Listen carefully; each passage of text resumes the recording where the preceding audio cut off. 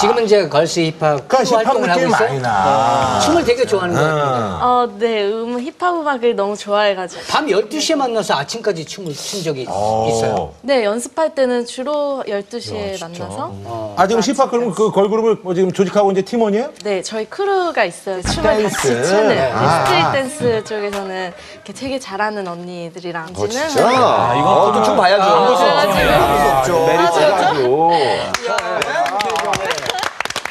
내가 강렬한. 걸스 힙합. 어, 또 모자 좀 쓸게요. 또 모자 중요하니까. 모자 꼭 써야. 야, 이분이 아주 뭐 우리 꼭지 씨가 아주. 저 약간 저 셔츠도 약간 바이크. 어, 힙합이다, 힙합. 야. 잘한다.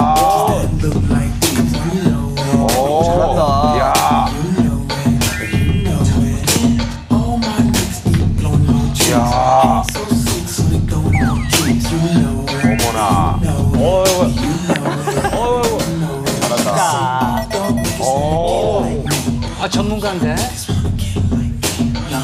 이야. 예. 이분이 아주 대단한 분이네. 아, 아, 주유소에서 오토바이 타고 내려가지고 이거 딱 하면은